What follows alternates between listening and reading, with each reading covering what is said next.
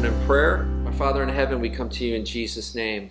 Lord, and we humble our hearts before you because this is your word, Lord, that we're talking about. This is your revelation of yourself to us. And so we take that with all sobriety, Lord. And we want to receive from you that spiritual nourishment, Lord, that you designed it to be.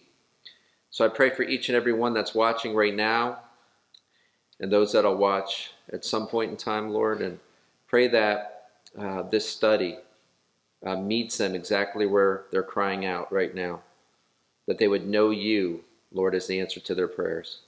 We pray this in Jesus' name. Amen. Okay, so First John chapter 4, for the, the third chapter ended speaking about it's a spirit that he's given us that abides in us. So he, he introduced this concept of the Spirit abiding in us. And that's kind of where he's going to pick it up here in chapter 4 with a warning. And the warning that he gives believers is this He says, Beloved, do not believe every spirit, but test the spirits whether they are of God, because many false prophets have gone out into the world. So, there's a warning that you're going to hear lots of spiritual stuff out there. People have all sorts of opinions, imaginations, fantasies, all these things about the spiritual realm, about the spiritual world. And he says, therefore, you have to test them. You have to test these spirits.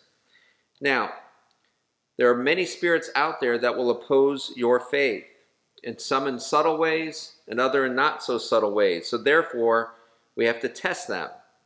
Because true prophets give true teachings about a true Jesus. False teachers give false teachings about a false Jesus. So we've got to test these spirits. It's exactly how Satan began with Adam and Eve. He said, Has God really said? So he challenged that, and they were supposed to test that spirit, test that to see if um, God really had said what the devil was claiming he said. So uh, there's this call to test these spirits. And in verse 2 it says, By this you know the Spirit of God. So he's giving you what the test is. So here's the test. Here's how you test the spirits. And I would say there's probably more to it than this, but this is certainly, without question, the beginning point for testing the spirits. He says, By this you know the Spirit of God. Every spirit that confesses that Jesus Christ has come in the flesh is of God. And every spirit that does not confess that Jesus Christ has come in the flesh is not of God. Okay. Now, there was a day where Muhammad said an angel or a spirit appeared to him, and where he first thought it was a demon, he was then later convinced it was an angel of the Lord, an angel of God. And what did that spirit tell him? Well, one of the things it told him was that God has no son. God has no son. Now, what does this tell us is a test of the Spirit?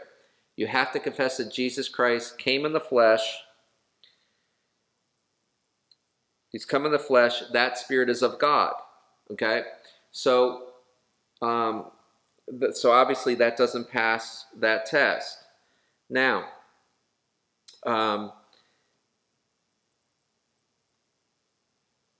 verse 3, we read this says, and every every spirit that does not confess Jesus Christ has come in the flesh is not of God, and this is the spirit of the Antichrist, which you have heard was coming and is now already in the world. So it's a spirit of Antichrist that actually says that Jesus Christ didn't come in the flesh.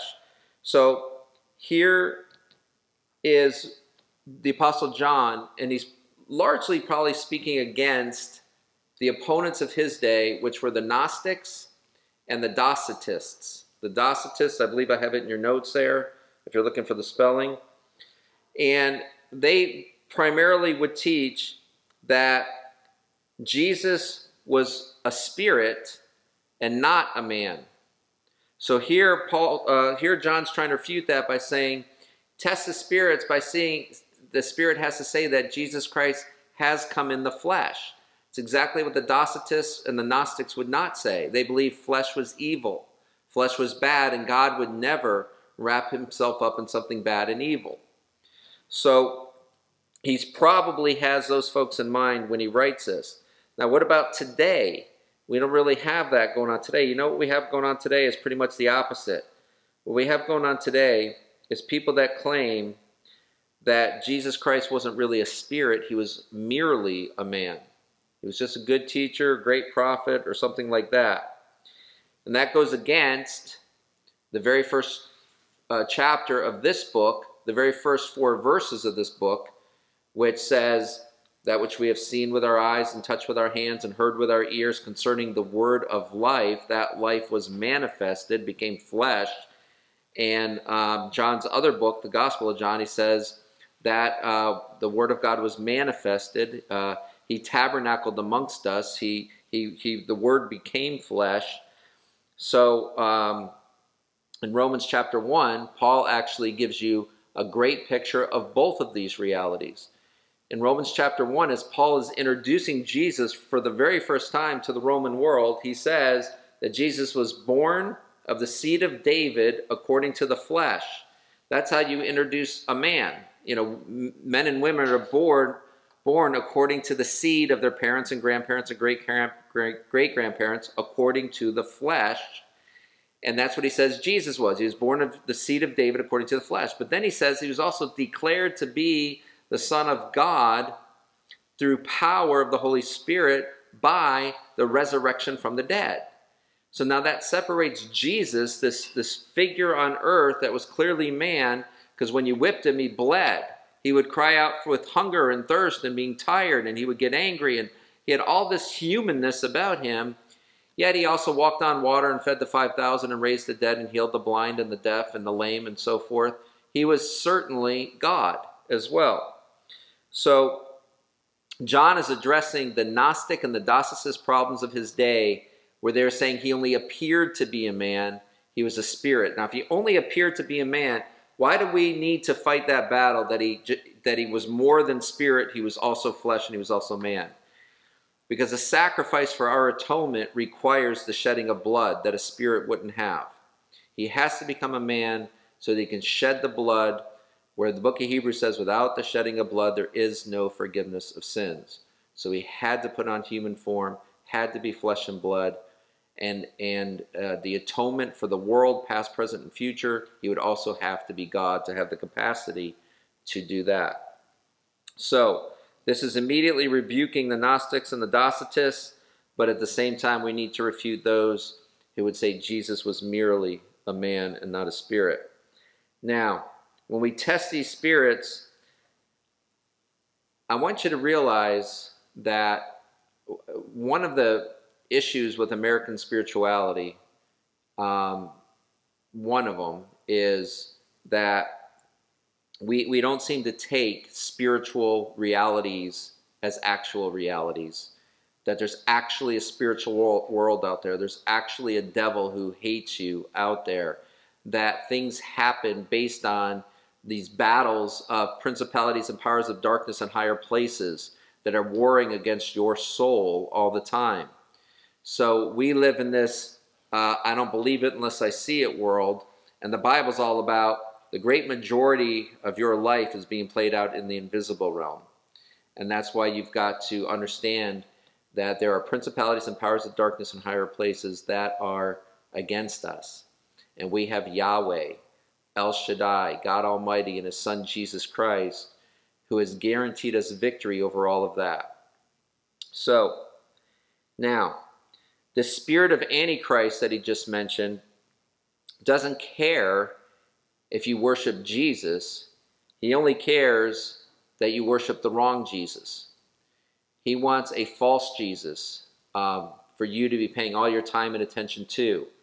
So, what we have to do is make sure that our view of Jesus, how you view Jesus in your heart and mind, tonight as we talk about him, is that the true Jesus, or have you created a false Jesus in your mind? So, we must apply our ideas of God to the scriptures. We cannot make God created in our image. We must uh, uh, humble ourselves till we were created in His. He is a truth that pre-exists us. Therefore, it's incumbent upon us to discover Him, to, to not not to create Him in our image, but to discover who He actually is. And that's why I so respect people that show up on Wednesday nights to do just that. So you guys always have my respect in that regard. Now, Paul will actually say it's the resurrection. In Romans 1, he'll say it's the resurrection from the dead that is the declaration of God the Father that Jesus Christ is indeed the Son of God come in the flesh. So, what's the greatest proof that he's the Son of God that's come in the flesh? It's the fact that, unlike anybody else, there's no religious leader, nobody that's ever started a religion that has ever claimed to have risen from the dead, predicted that he would die and rise from the dead, and then show up and have eyewitness testimony and then point you back to scriptures to say, they've been talking about me for centuries. So you can look at your previous scriptures and compare them to me because they're all about me. And then uh, half a dozen times or so in the New Testament, he'll tell his followers, I will be betrayed, I will be arrested, I will be crucified, and I will rise again on the third day. And then he even says to the Pharisees, he says to them, You destroy this temple and I'll rebuild it in three days. So he even tells us who is going to be responsible for his death. Okay? So he, he got the people responsible right, he got the third day resurrection right, and he got that he would have a premature death uh, of martyrdom right. Okay. So, moving on to verse 4. It says, You are of God, little children now, this is directly opposed to the spirit of Antichrist being already in the world. So there's a spirit of Antichrist out there, and he says, You are of God. So the Apostle Paul is crystal clear on this spiritual realm, isn't he? He's saying there's a spirit of Antichrist and people that follow him, and that you, and you are the children of God. So there's the, the battle lines are drawn in the spiritual realm there. You are of God, little children, and, have overcome them because he who is in you is greater than he who is in the world. Now, I use that verse very, very often in counseling. People need to know if you're a Christian being counseled, you have victory. You just have to walk in it. You walk out your victory rather than being a victim. You step out in what Jesus Christ has done on your behalf. Because if he's abiding in you, and that word's going to come up a lot tonight, that word abide. God's constantly trying to tell us that he's abiding in us. He's here. And greater is he who is here than he who is in the world. So the greater ought to defeat the lesser every time. The only way the greater won't defeat the lesser is if you don't have the greater show up for the battle. Okay? So he says, You have overcome them, because greater is he who is you than he was in the world. Now, and when John wrote his gospel, in John's gospel, chapter 1, in verse 5, he says this he talks about the light shines in the darkness, and the darkness did not overcome it. Did not overcome it. So he, he compares the spiritual battle between a battle between light and darkness. And he says, Jesus is the light, the darkness did not uh, overcome it, did not comprehend it, did not overcome it. Have you ever seen darkness overcome light? Have you ever seen lights on and then somebody just comes and switches a uh, switches a switch I almost said switches a flip. Flips a switch, and all of a sudden, darkness overcomes the light. No, you have to remove the light to have any chance for darkness to win in, in, in a room. Okay? But the presence of light will never allow darkness to exist.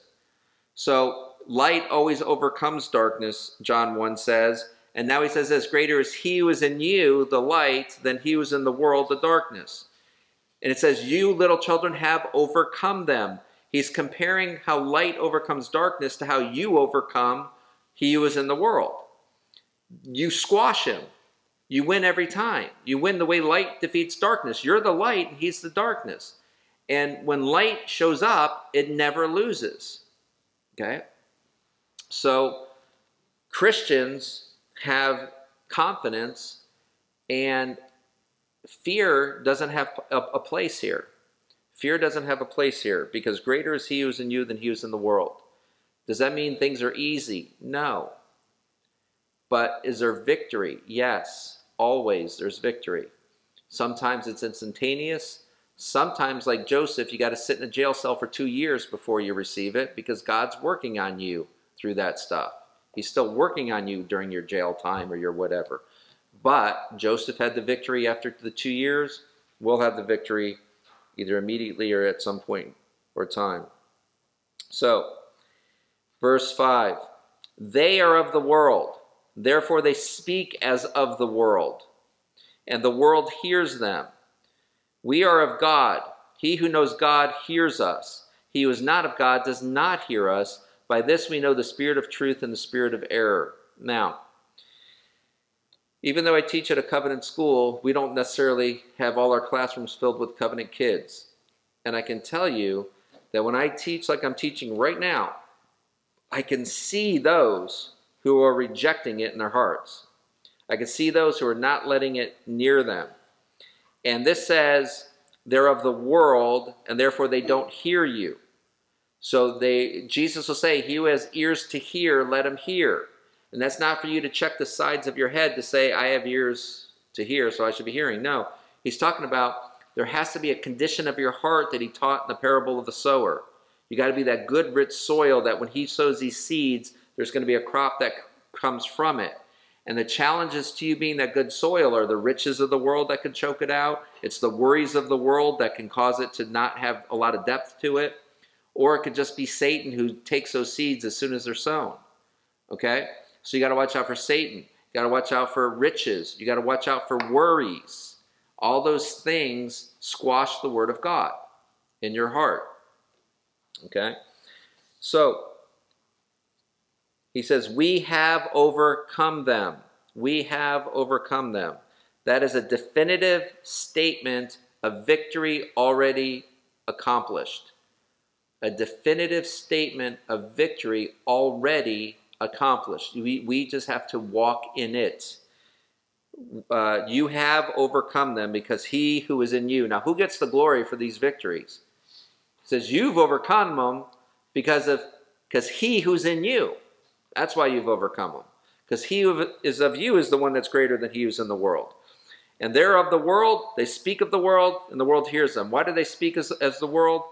Because out of the overflow of the heart, the mouth speaks, correct? So when they speak as of the world, it's because the world's in their heart. So we have to guard our hearts with fervency. So what are you listening to all day long? What are you watching all day long? What are you reading?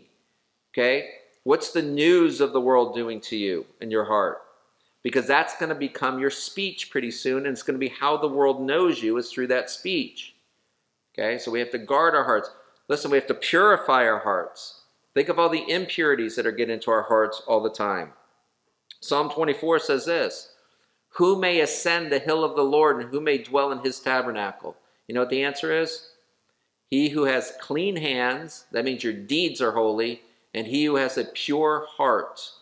So, what's going on with your hearts tonight? What are you letting into your hearts? We need to be purifying our hearts. We need to be guarding our thought life fervently because things are all around us bombarding our thought life, trying to make them impure. And those impurities cannot get up the, the hill of the Lord.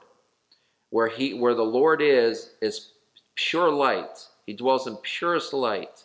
And we've got to purify ourselves. Now, ultimately, as we journey through the mud here, trying to purify ourselves, we have to remember confession of sin is what cleanses us of all unrighteousness. Confession of sin cleanses us from all unrighteousness.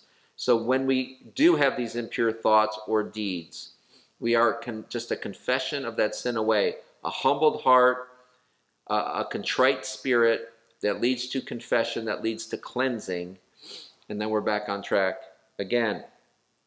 Now,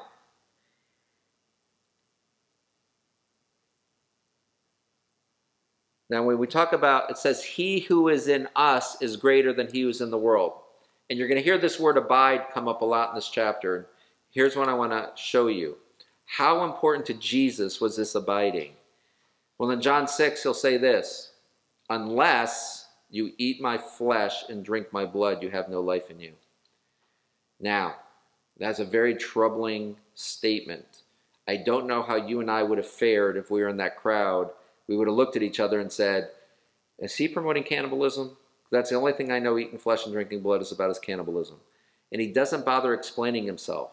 He wants to see who's going to stick around even when they're confused about him. So when you get confused about God, do you leave? Like it said, many left him that day. Many walked away from him that day. In fact, it's It's the 66th verse of John chapter 6. It's the only 666 in the New Testament. And what does it say? Many walk many would walk with him no longer. The work of the devil is not for you to be murdered or slaughtered in the street. The work of the devil is for you simply to walk with him no longer. That is all Satan needs to do.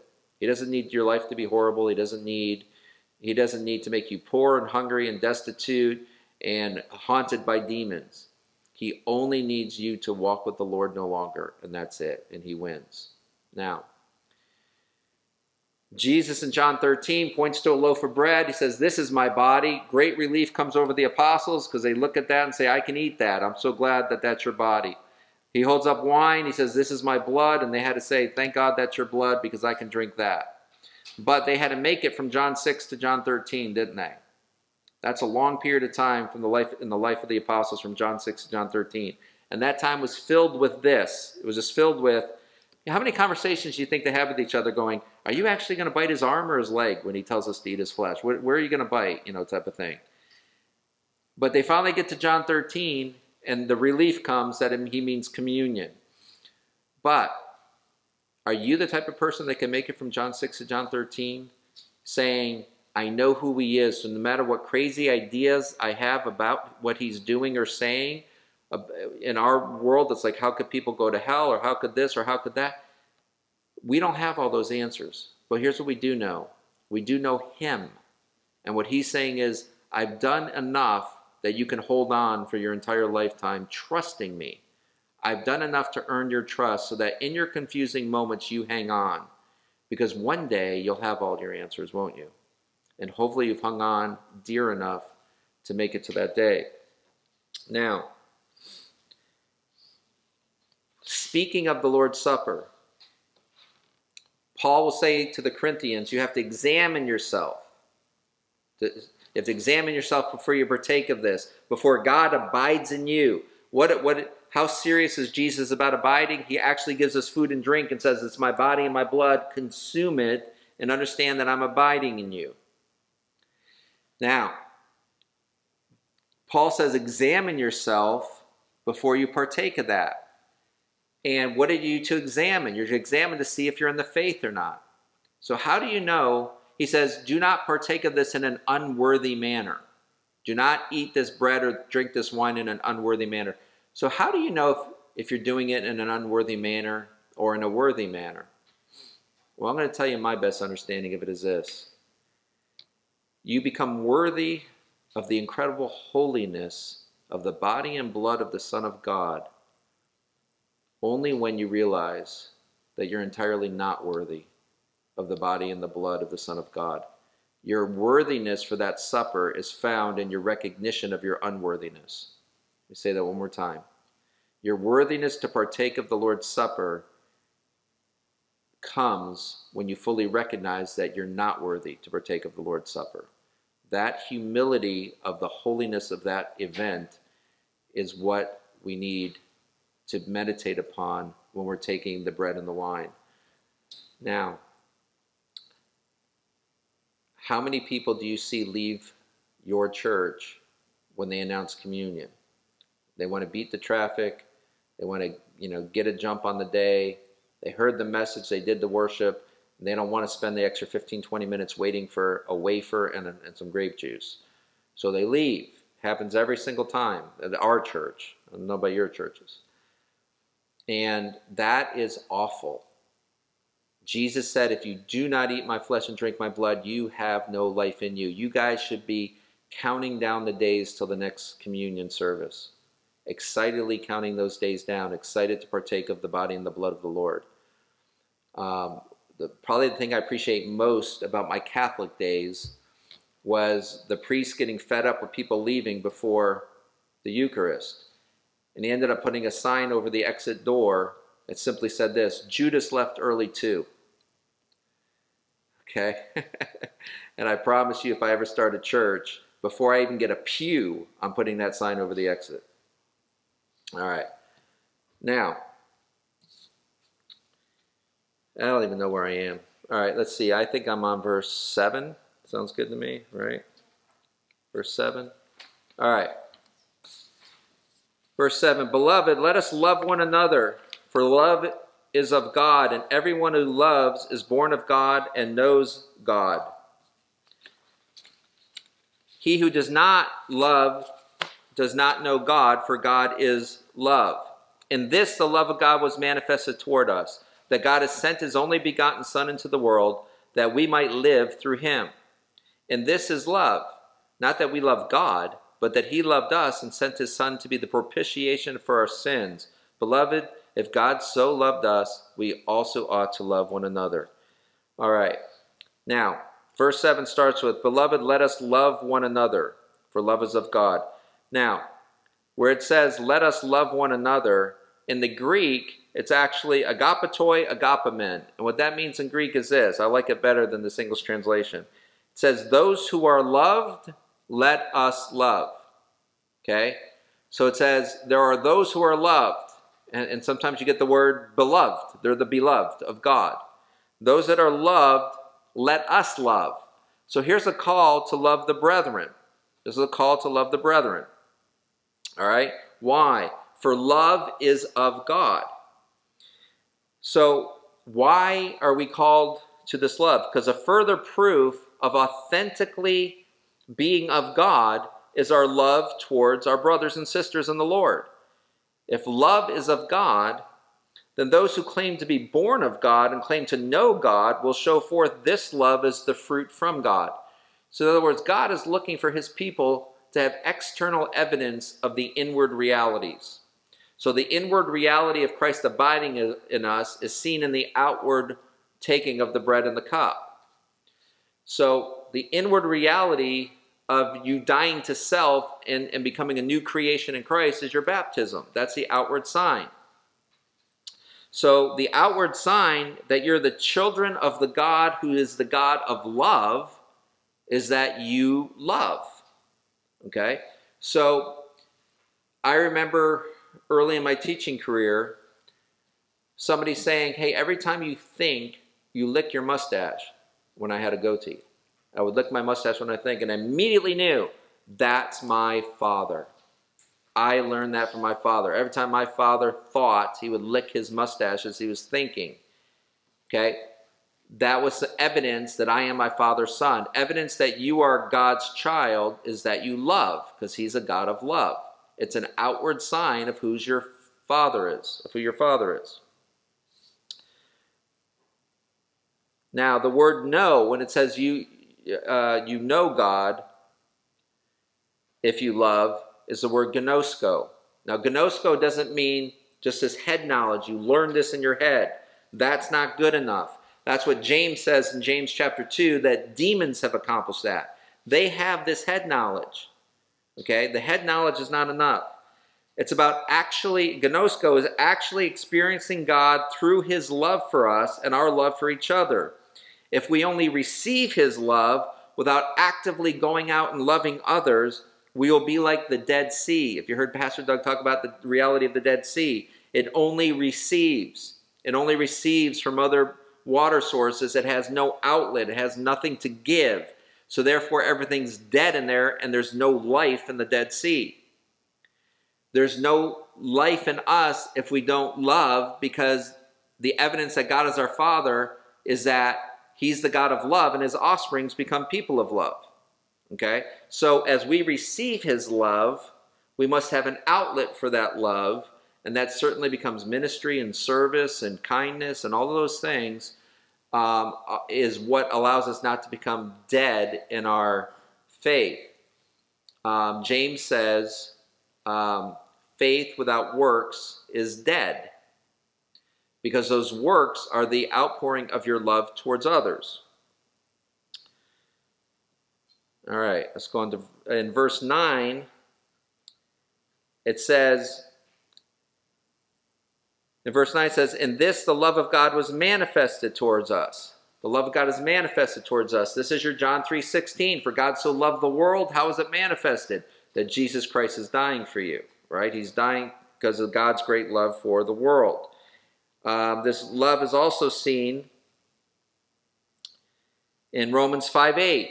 While we were still sinners, Christ died for us. And Paul will go on to say, you know, for a good person, somebody might dare to die and stuff like that. But Christ, uh, God demonstrated his love that while we were sinners, he didn't die for good people. He died for sinners. It's his great love for us. And one of the great demonstrations of God's love in the Bible is seen through what we call the principle of first occurrences, which basically means the first time a major theme appears in the Bible, that's the major framework for understanding that theme throughout the rest of the Bible. Well, the first time the word love ever appears in the Bible isn't until Genesis, is it 17 or 22? I'm mixing up those stories, but it's 17 or 22 chapters into Genesis where Abraham's sacrificing Isaac, his son. And the first time you ever hear the word love, never with Adam and Eve, okay, never, never in, in, in any story until you get to Abraham. And it's not his love for Sarai or anything like that, or his wife or anything like that. It said it's God saying to Abraham, "Take your son, your only son, whom you love, and sacrifice him to me on the mountain of which I will tell you." It's the first time we ever hear the word love in the Bible, and it's the love of a father and the need to sacrifice him.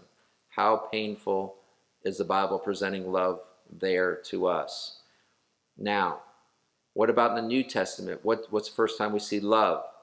Well, in Matthew, Mark, and Luke's gospel, the first time we see the word love is at Jesus' baptism, where Jesus is being baptized, and you hear the Father's voice from heaven say, This is my Son whom I love.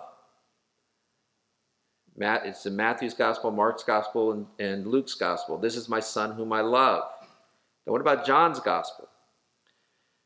Well, the first time we hear the word love in John's gospel is, For God so loved not his Son now it says, For God so loved the world that he gave the Son of his love up so that he would have to die for the love of his people.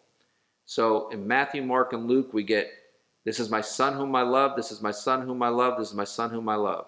And then in John's Gospel, But he loves us so much that he sent that Son of his love to his death, that you may be saved. Now, when this says God is love, says God is love, that's what we're talking about. Is that type of intensity of love. And then he says this because he first loved you, now you go love like that. And greater love is no man than this, than he be willing to lay down his life for his friends. That's what we're talking about when we talk about knowing God's love, experiencing it, gnoskoing it, not just head knowledge of it. Got to be better than that. All right. Verse 12. No one has seen God at any time. Now, right there, you're going to go, what about Moses saw him face to face? What about, and you'll have all these instances of, didn't they see God? And here in the New Testament, John says, nobody's seen God at any time. So, how do we understand that? Well, I would suggest to you that every time Moses or anybody like that sees God, Samson's parents said they saw God, that that was not the Father, that was the Son. That was what we call a Christophany, an Old Testament appearance of Jesus Christ. And some of those have great evidence that it could only be Jesus, especially Samson's parents. It could only be Jesus that appeared to them as the angel of the Lord. Why? Because he actually jumps on their altar of sacrifice and ascends to heaven in the flame. So he's saying there, I'm your sacrifice. Okay, not this goat that you're going to offer. I'm your sacrifice. Only Jesus can say that he's our sacrifice. And then when they asked his name, he said, Why do you ask my name, knowing that it's wonderful? And didn't Isaiah said, He shall be called wonderful? Okay? So, so uh, those are Christophanies about seeing God face to face. So this is talking about the Father. Nobody's seen God at any time. If we love one another, God abides in us, and his love has been perfected in us. Let's look at this perfecting of love in us. By this we know that we abide in him and he in us, because he has given us of his spirit. And we, we have seen and we testify that the Father has sent the Son as the Savior of the world. Whoever confesses that Jesus is the Son of God, God abides in him and he in God. And we have known and believed the love that God has for us. God is love, and he who abides in love abides in God, and God in him. Now,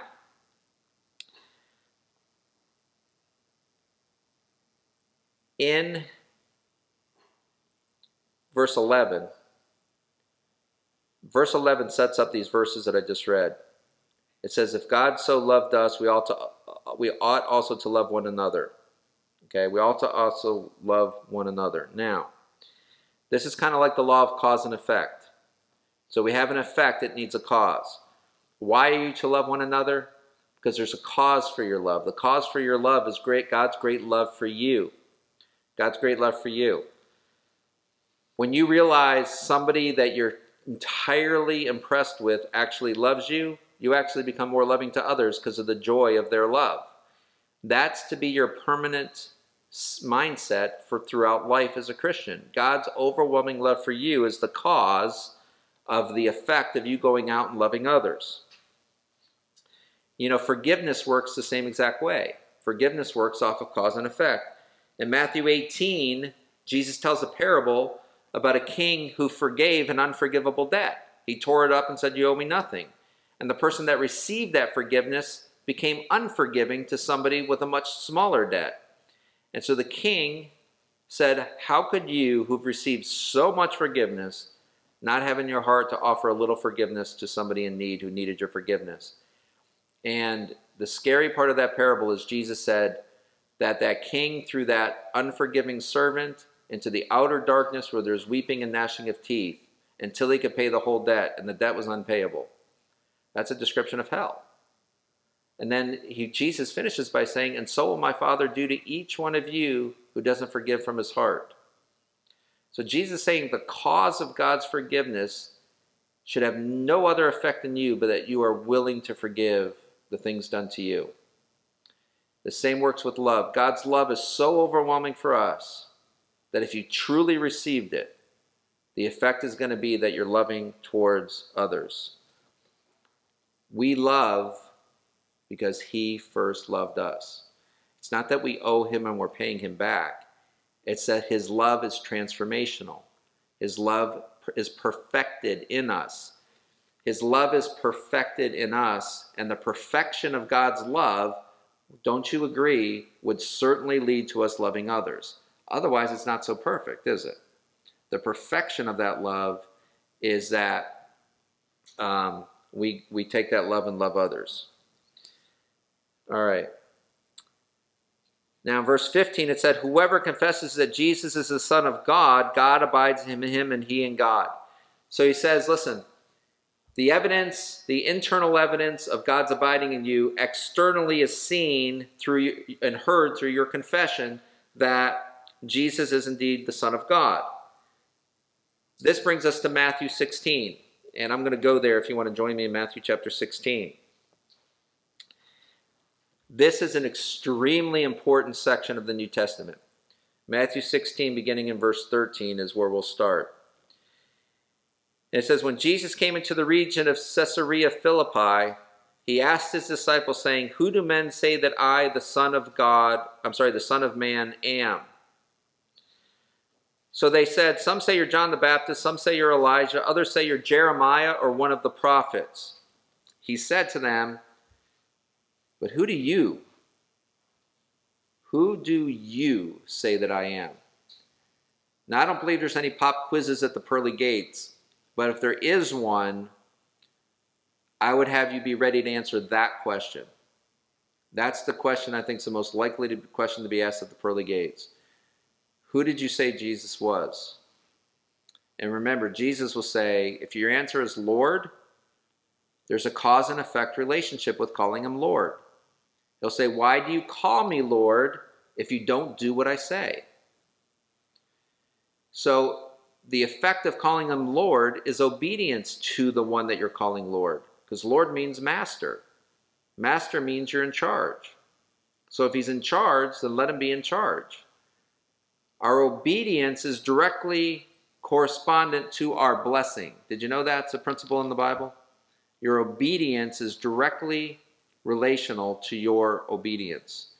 How many times do you hear in the Bible God say, if you do such and such, then I will, and there's a blessing. But if you don't, then there's a cursing. Okay, he's saying he's looking for obedience. Why? Because obedience to God is acknowledgement that he is who he says he is and that his son is who he says his son is. So obedience is another outward sign of the inward reality of Jesus actually being your Lord, being your master. Okay?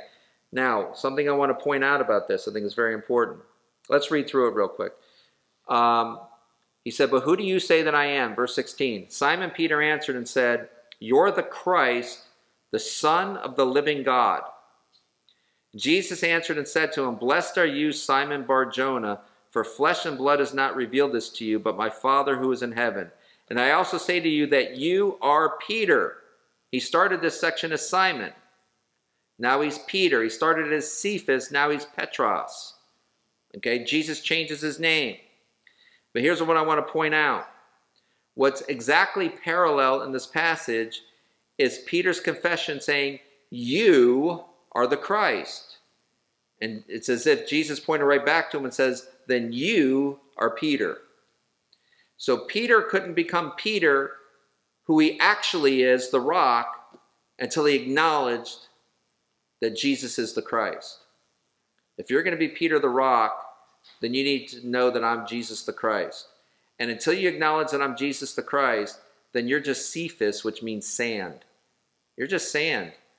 What does Jesus teach about sand? Build your house on the sand, storm comes, great destruction of, of your house, right? You don't want to be sand. You want to be the rock.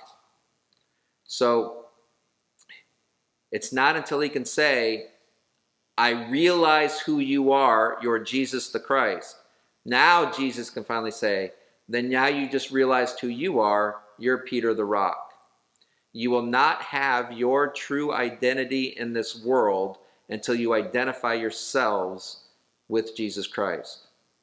That's the only way you'll ever have full realization of who you are. Who you are is actually a child of God. Until you live out your identity as a child of God, you are living in hypocrisy. You are living in compromise. You have to live who you actually are, the child of God. And when you can look at Jesus Christ and say, You're the Christ, and you acknowledge that in front of people, then you'll be acknowledged in front of the angels of heaven by Jesus Christ as His. Okay? So your identity, your true identity doesn't come until you recognize and realize and acknowledge and proclaim His true identity. He is the Christ, He is the Son of the living God. All right.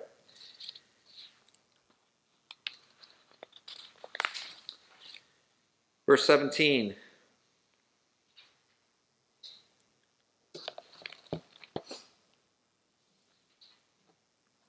Love has been perfected among us in this, that we may have boldness in the day of judgment, because as he is, so are we in this world. There is no fear in love, but perfect love casts out fear, because fear involves torment. But he who fears has not been made perfect in love. We love him because he first loved us. All right, let's unpack these couple verses here. Here's how love has been perfected in us that we may have boldness in the day of judgment. So there's a judgment day. And how has love perfected us? It's perfected us in that we can face that judge with boldness and confidence that we will receive grace in our time of need. Your biggest time of need is going to be your judgment day. And you're going to need grace upon grace on your judgment day. And it says you can enter into that judgment day with boldness. Why? Because love, which God is and abiding in you, has been perfected in you. Okay? And that perfected love casts out the fear of your judgment. Okay? So, so Christians ought not be afraid of death. Now listen, death will always be sad because we leave loved ones behind and we say goodbye to loved ones. It's very, very sad, but it is not tragic. It is not tragic. It is, it, it, it, it's the fulfillment of all of God's work in people's lives is fulfilled through death. So much so that the psalmist will write in Psalm 116, verse 15, he'll say, Precious in the sight of the Lord is the death of his saints. It's precious in His sight. Why? Because it fulfills all of His work uh, from Genesis to Revelation. It's fulfilled in our deaths. So our deaths become a fulfillment rather than a finish. They are not a finish of anything. They're fulfillment of everything. Everything you are supposed to be. All the love you are supposed to experience, all the joy, all the freedom from disease and sickness and crying and pain, all the freedom from the toils of, and struggles of this world, all of that is all of the freedom from that is fulfilled in our deaths. Now, should we seek our death prematurely? No, because he has prepared good works for you to walk in. He's prepared you to participate in the kingdom work. Somewhere along the line, there's kingdom work that brought you your salvation. There was work done by priest or neighbor or somebody that they were doing the work of the Lord that got you to open up your heart to the Lord. Well, what if God just keeps taking people as soon as they're saved? Okay, a pastor friend of mine always used to wonder that when he got saved, he's like, "Can't I just go now? Can't I just go now?" And now he realizes as a pastor, no, there's a whole heck of a lot of work to do for others and having our love perfected in us. We got to get this love perfected. It's perfected through sharing God's love with other people. All right. Verse 20. If someone says, I love God and hates his brother, he's a liar. For he who does not love his brother whom he has seen, how can he love him whom he has not seen? And this commandment we have from him, that he who loves God must love his brother also. All right, so here we have we there, there's a test, and the seen, the visible, is the test. It tests your ability to respond to the unseen. Okay, so if you cannot love your brother who you can see, he's visible, and you're under the command to love him, and you can't. That means you don't love God who you cannot see. So, so the visible world is our testing ground for the invisible world. We see this even in the commandment to honor your mother and father. Now, I can't promise you what I'm about to say is true. It's just a conclusion I've made over the years. As I teach teenagers, and one of the greatest commandments they violate regularly is the command to honor their mother and father. They have trouble even obeying them, and honoring them is a higher call than just obeying them. So, I will often say to them that your parents are your visible testing ground where God commands you to honor them because you can see them. And once you leave your parents' home and you're out on your own, the question is can you honor God who you cannot see? Well, how are you going to honor that which you cannot see if you didn't honor that which you could see? You could see they provided for you. You could see they were feeding you. You could see that they provided shelter and security and medical insurance and all that for you. You could see all that and you failed to honor him. What makes you think now this God that you cannot see you're going to give honor to throughout your life? So we need to train our children to respond to the visible in the way we want them to respond to the invisible. Because according to this dynamic here, with love, if you're not loving those that you can see, John calls you a liar for claiming that you love God. He says you're a liar. Why? Because if you're a Christian, God abides in you, and God is love, therefore love abides in you. So, how in the world is it that that love is not getting out of you to other people? Is the question. So, John directly attaches your love for your neighbor with your the reality of the God of love abiding in you and me. So, is this just theory? Is this just teaching? Is this just lessons from pen to paper? Not when you have the Son of God manifested in the flesh, dying on a cross because of his great love for us. That he loves the, ob- the objects of, of his love so much that he had to have a moment of breathing his last and surrendering his spirit to God and dying and being confined to a cold tomb for three days. So, God is love, and it's not just that he loves from a distance, he loves us face to face. And the cross that we wear around our neck is your everyday reminder that the object of this divine love is you and it's me. So, with that, may we never ever look at a cross without our hearts being moved, without it being a love letter from you, from God to you, and that His love moves your heart to action, to loving your neighbor. In that, the world will know that you're a Christian and they will also know that Christianity is of the highest ethic that they've ever experienced. Let's pray. God, it's in Jesus' name that we come to you, Lord.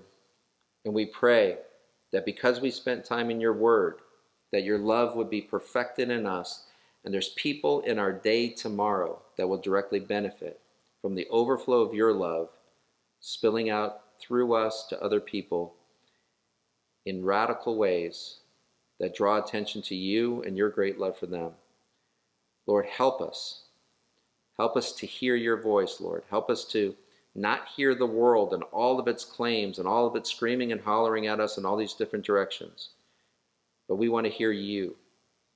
Purify, Lord, our hands and our minds and our hearts so that we may ascend the hill of the Lord and dwell in the house of the Lord forever. Lord, the work that you began in us, we know you'll be faithful to complete, and in that we rejoice and we praise you for that. And we rest our hearts tonight in Jesus' name. Amen. Uh, Pastor Bill, we do have our first question. Uh, the question says um, Earlier you were referencing Cephas, meaning sand.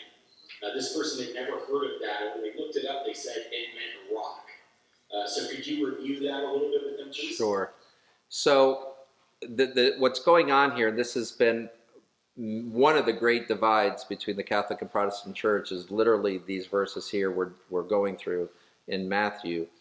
And the idea is that Cephas um, is talking about see the difference between Cephas and Petros. And I want to make sure I get this right, and I wrote it down in Matthew 16, so let me turn there real quick. All right. Um, Petros. Um, let me read this here. I wrote it sideways, so excuse me one second.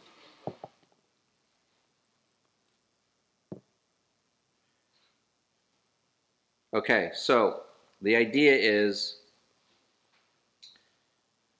that, yeah, so Cephas and Petros both mean rock, but the Petros is talking about like a boulder, and Cephas is the pebbles. So I think I think the pebbles could be uh, is a reference to sand type of thing, and where the where the debate is um, over on this is this is where the Catholics declare Peter to be the first pope, and it's because Jesus says in the verses that follow, he says he says um, he says you are Peter, and that's Petros, and on this rock, that's Petra. Okay, so one ends in ROS and the other ends in RA. So Jesus is mentioning two different things here. So what he and what he's mentioning is he's saying that your name is Petros, and on this Petra I shall build my church. So the Catholic faith believes that Peter is being declared the first pope because in verse 19, Jesus says, I'll give you the keys of the kingdom of heaven. Whatever you bind on earth will be bound in heaven. Whatever you loose on earth will be loosed in heaven. So they're saying those keys were given to Peter of the binding and loosing, and that's the authority uh, of the Pope. So Peter's declared to be the first Pope, and all the popes follow from the line of Peter. Now, what Protestants believe is that the, the play between Petros and Petra there, the play between those two uh, words there, is Jesus is saying that Peter is the rock, the boulder, and upon this Petra, which is like the little stones. Um, in fact, what I wrote in my Bible, and I don't know who I'm quoting there, I'd have to see what commentary I was looking at, but he's saying you're the little stones of like a quarry of rocks. So upon this quarry of little rocks, I'm going to build my church. And those rocks would refer to us, the believer we become the quarry of rocks upon which Jesus will build his church, not just Peter. Because if it was Peter, it should read this You, you are Petros, and upon this Petros I will build my church. But he doesn't keep the masculine Petros going, he goes to the feminine word Petra, which is different. The Petra is referring to like a rock quarry, a multitude, so it'd be like a community of rocks, which would be the believers. And Peter, the very rock that he's referring to here, when he writes First Peter, when he writes the letter, he seems to have that in mind because he says this We are all living stones in the building of God's church. We are all living stones. So he's seems to be recalling this moment in Caesarea Philippi where he gets these two different words, Petra and Petros, and he realizes that there's this Petros upon which the church will be, I'm sorry, this Petra on which the church will be built. And, um, and that would be all the little believe the, the believers. So probably little stones would be better than sand, uh, especially with the analogy I gave with uh, you build you build upon the sand, you collapse, and that's certainly not the church. Because in this passage, it'll actually say that the gates of hell cannot prevail against this church. Okay, so it's certainly one that stands. Um, so uh, sand probably isn't the best word to use there. We have the next question here that is in reference to verse number six from tonight's teaching. Um, it's basically saying here that by this we know the spirit of truth and the spirit of error. Uh, is this the Holy Spirit giving you the gift of discernment? Uh, I would certainly say that is the source. And um, I actually wrote this reference down, but I didn't put it in the notes. I wrote in my Bible, and I think it's extremely important. Is 1 Corinthians chapter 2. So when you ask if um, the, the source is the Holy Spirit, is that what they're asking? Is that what that's referring to the Holy Spirit? That's what it's asking, Mike? All right. If that's referring to uh, okay. discernment from the Holy Spirit. I believe so, because I think 1 Corinthians chapter 2, starting in verse 10, will say exactly that, what, what the person asking the question is saying. Uh, 1 Corinthians 2.10 says, But God has revealed these mysteries to us through his Spirit, for the Spirit searches all things, yes, even the deep things of God. For what man knows the things of a man except for the Spirit of the man which is in him? Even so, no one knows the things of God except for the Spirit of God. Now we have received not the Spirit of the world, but the Spirit who's from God, that we might know the things that have been freely given to us by God. So that's directly attributing uh, spiritual wisdom to the Holy Spirit uh, abiding in us. So I think, I think that's the answer would be yes, that that would be uh, the Holy Spirit in, in First John there. And it's kind of neat to think about because saying so when in our passage, when it says that um, the world can't hear us because uh, we speak, they speak the things of the world, and therefore they can't hear what we're saying because we speak the things of God. I think that's exactly saying the same things as 1 Corinthians chapter 2, which is saying you have to have the Spirit of God in you to understand the mind of God. So if you don't have the Spirit of God and people are speaking the things of God, you're just not going to understand it. You're not going to follow that. Um, it's not an intellectual disability, it's a spiritual disability that you can't spiritually discern the things of God because you don't have that Holy Spirit in you that knows the mind of God. That's telling you the mind of God in you. That's why you guys can look at creation and go, God is awesome. Everybody else looks at creation and goes, molecules to man. What a random freak accident that was. Okay, they just can't see or hear what you see and hear. Again, that's why Jesus will say things like, He who has eyes to see, let him see. He who has ears to hear, let him hear. He's saying that it takes a special kind of seeing and hearing to understand the things of God. Uh, they're not naturally discerned, they're supernaturally discerned. So you need the Holy Spirit in you to be able to discern those things.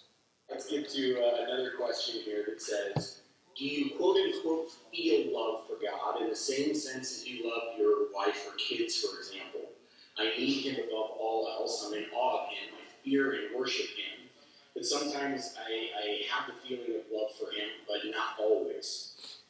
I'm thankful for that question. Thankful for that question. And um, uh, I'm, I'm feeling a lot of pressure from this side to say I love my wife dearly, first of all. Now let me answer the rest of the question. so, um, why I'm thankful for the question is because I think, I don't know how old I was. I pray I was really young because it sounds really dumb to say. But I remember my parents showing me a picture of Jesus when I was really, really young and saying, We love him. And I remember saying, What if we think he's ugly? Okay? So that's how my relationship with Christ started. All right, and thankfully things have gone up a bit since then. But, and, and I bring that up because if we happen to think he's ugly, then, and we think we can't therefore love him, we misunderstand the love that we're called for. God would be, I, th- I think God would be impinging on the fact that he's created us in his image as free creatures if he commanded us to love, meaning I'm commanding your emotions toward me. I'm commanding you feel something towards me. I believe the love that he's commanding from us is a love that you actually can choose hour by hour by hour throughout your whole life.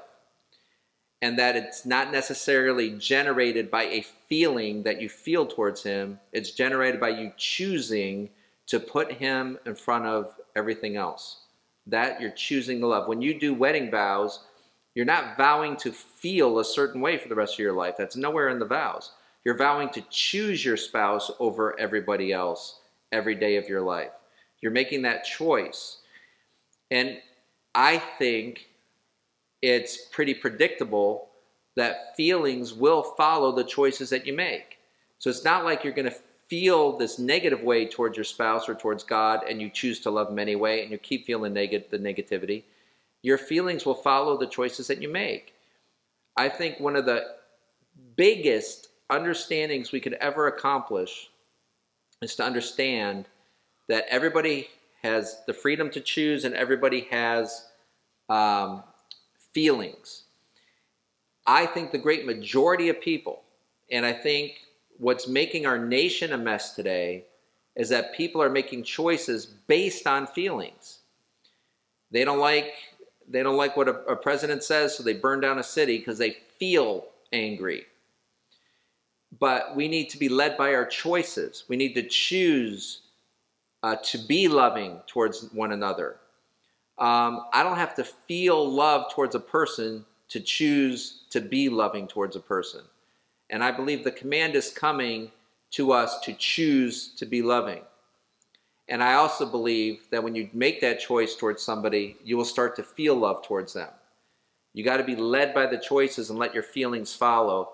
The huge thing that I think is going wrong with so many people and that confuse people about God is they wonder, are my feelings right? And therefore they'll make choices based on how they feel. And if they don't feel love towards God, then they feel more comfortable sinning or more comfortable not being loving towards others or more comfortable not going to church or reading their Bible. And they acquire these great comfort levels of not doing things because they go, I just don't feel that way. I don't feel like it. And one of the great tools I have in marriage counseling is saying, let's not let's not care for a while how anybody feels. Let's live off of choices. Let's choose each other and let's see you behave based on those choices and then we'll talk about how you feel. Well, let's see how you feel after making these choices over a season of time. So, same with God. I, I choose to love God no matter how I feel. I choose to be obedient to God no matter how I feel. And what I end up feeling is stronger than ever in my emotions towards God. Um, because if He is real and if He is love, then when we obey Him, we're, we're operating in love. And I believe feelings of love will follow those choices. The question is Do you have to be baptized to partake in the Lord's Supper? I am getting baptized, but I'm not sure if it's God's calling for me to be baptized or if this is just a passing feeling. Um, you're commanded to be baptized. Um, it, there, there's two imperative statements. Imperative statements are commands um, that John the Baptist began with and Jesus followed through with, and that is he says to all people everywhere, repent. That's a command, it's not a suggestion. And be baptized. That's a command, not a suggestion. So um, I would encourage uh, the questioner to get baptized as soon as you possibly can. You can wait until your church does their next baptism, or you can, you know, find a pastor, an elder, and, and uh, I did three baptisms over Christmas break of people just realizing they haven't been obedient to that, wanted to be baptized as soon as possible. And we just jumped in the ocean. I, I prefer you get those ideas in the summer, quite frankly, because uh, the ocean was absolutely frigid uh, going in there in December. But if you do get that idea in the winter, me or somebody else would be more than happy to uh, uh, baptize you. But it, it is a command of the Lord. It doesn't save you, but it's the outward picture for the world to see. There's to be witnesses of that um, that hold you accountable to your baptism. That's why I like Calvary's baptisms because there's hundreds and hundreds of people that can see. And what I like to say in the water sometimes is, this is you declaring before all these people that you follow Christ. So if these because you know people are in the condos on their patios watching these baptisms, and I'm like, if they see you get baptized and then tonight you're at the bar over there half drunk, they're gonna go, hey, aren't you the guy that just went into the water and got baptized and everything, and now you're getting baptized by liquor, and what's up with that? So um, you're to be held accountable by by the seeing world for that. If you acknowledge God before man, Jesus will acknowledge you before uh, the angels in heaven. If you do not acknowledge him before man, he will not acknowledge you.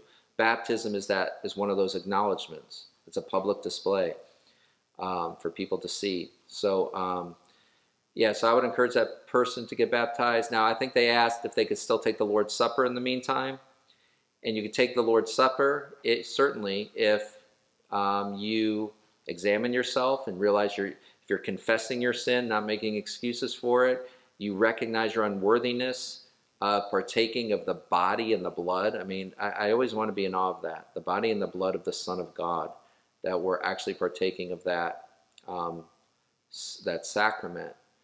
Um, eh, so if you recognize what that is and feel the unworthiness and the grace that comes with your invitation to partake in that, um, then I think you can partake in the meantime until you get baptized. Uh, this next question is probably a situation that every single person here has been through uh, lately. The question reads This past election season, I've seen so many people who call themselves Christian uh, post hateful messages against other Christians and so on. How should I look upon those people? Um, we should look upon them with love, compassion, forgiveness but um, also praying about a way privately, I don't think you should ever do this stuff publicly, of saying that um, the Christian part of them that you know and recognize doesn't seem to match the public um, display of uh, on social media. Just saying, I the way I know you as a Christian doesn't seem to match what I'm seeing uh, in public, you know, type of thing. And um, and there's a lot of ways of expressing your disapproval without name calling and insult and all of that. There's lots of ways to express your disapproval. Um, I have a lot of very heavy opinions about politics, and none of you have seen a bit of it on social media. To me, it's just not the place. If I saw people being won over by ideas on social media, then I'd be all over it expressing my ideas. I have not seen one person go, Thank you so much, I just changed my mind. I just changed my vote. I just changed everything because of your social media post. It's just not going to happen. The only thing I've ever seen change hearts and minds politically is the gospel. If they get the spirit of God, then they'll see they'll understand the mind of God, and then they'll take the issues of politics and apply the mind and the spirit of God to those issues. And I think you'll see large agreement there politically uh, in those cases. And in most major issues politically, you do see Christians, majority of Christians on the same side. And I think that's why, quite frankly. But um, and, uh, it's hard for me to hear anybody justify name calling, um, abusive language, hurtful language, uh, and, and, things like that um, this is exactly where the call to love your enemy comes in. And, uh, and they were talking about enemies that wanted to kill you, not just disagree with your political ideas. So if you're to love the enemy that wants to kill you, you're certainly to love those who disagree with you politically. So I struggled in my heart looking at that as well. I really have a struggle in my heart. And, um, and, I just think it's hard for the unbelieving world to say we're different when that happens. So, um, and I don't, I don't think people need to not express their political ideas. I just think um, if people don't hear from a Christian and say, I know they love me, then those words shouldn't have been said. And what I've seen on social media, and I imagine the questioner's seen on social media, you would never guess that they love the person that they're talking about. So uh, the command to love never takes a back seat to a political idea. So um, you can get them both done. You can love and express the political ideas and so forth. So how should we view that? We should view it as somebody who probably, uh, quite frankly, and and you know with 40 something people right now looking on is probably addressing somebody here i would say there needs to be spiritual rebuke in, in that area um, if they claim to be a christian there should be spiritual rebuke going to them in my opinion and we have the last question of the evening and honestly it's just amending the previous question about getting baptized would that answer change that you gave? Would that answer change if you were baptized as a child and not as an adult? Yes, great question. Um, now, I know that when I've asked this question to people I respect in the faith, um, the, the pretty common answer, the pretty consistent answer is if you are baptized by a, an ordained minister of the Lord, then you are good, infant or not infant. Now, that was me. I was baptized as a Catholic infant. And knowing what I knew about that answer, I still went as an adult and got baptized because I just wanted, with what I came to know of the Lord, I wanted to be in public. I wanted a public display of what I came to know and believe. I wanted my baptism to be my choice, my decision, my commitment. I wanted all that. And so um, i think that came from the Lord. I think it did. I don't know that it did. But when I'm in the water baptizing and people say I was baptized as an infant, sometimes I'll say to them, I want you to know that I think that was effective for you. Um, but if you choose, like I did, to still do it because now it's your decision, then I'd be happy to do it. But I do want you to know that I believe that that counted for you. Um, but the fact that you have 25 people with cameras pointing at you is probably not likely you want to turn around and walk out and go, hey, I already did this. Let's go get breakfast you're probably going to want to follow through anyway.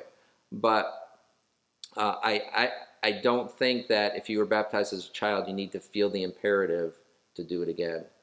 Um, that's the advice that I've received and, and that I go by. If there was an ordained minister of the Lord, you're good. Because you got to remember this, guys. It's not happenstance that they baptize infants in, in some in Protestant churches and Catholic churches they have theological reasons behind it that are very, very sound. Um, and we have theological reasons that are very, very sound for baptizing adults and not baptizing infants. And so I can't tell you who's right in that. Um, I will not say that what we do is the market on it and everybody else is wrong. Um, I understand both sides of the argument, and I think they're both extremely sound arguments. You do have to be saved first. I do see that question in the chat. Uh, I don't think you'd want to be baptized if you weren't saved. Um, but yes, you have to be saved first. Actually, the comment right before that, Pastor Bill, is an interesting one uh, where it just references the Catholic baptism. Uh, a lot of times that's not a choice. Shouldn't baptism be a choice? Yeah, I mean, Peter says it's the pledge of a good conscience towards God, and I think that's where churches like ours hold on to and say the infant can't have a good conscience towards God.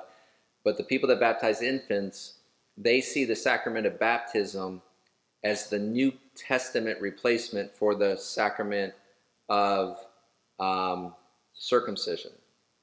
So, where we don't require circumcision, um, they say it's because. Um, it's been replaced by baptism. So as infants were circumcised, therefore infants should be baptized.